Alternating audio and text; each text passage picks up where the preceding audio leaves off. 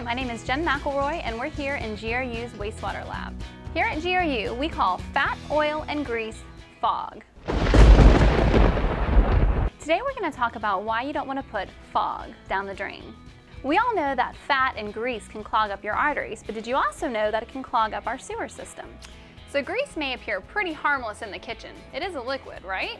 What happens if you pour it down the drain and it cools off in our pipes?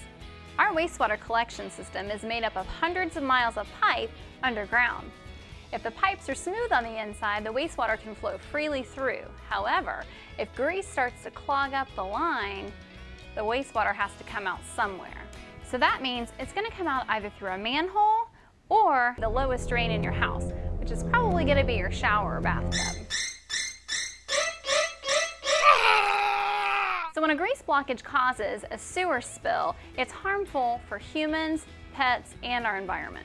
It clogs up into our scum troughs and in the clarifiers where the water's being treated at, which is loading on the digester, costs us more money, and on the pumps. The more the pumps come on, the more power we use. So the more grease that we're getting in, the more scum we have to remove. So next time you're going to dispose of grease, make sure you put it into a sealable container and put it in the garbage can. Thanks for watching. We'll see you again next time.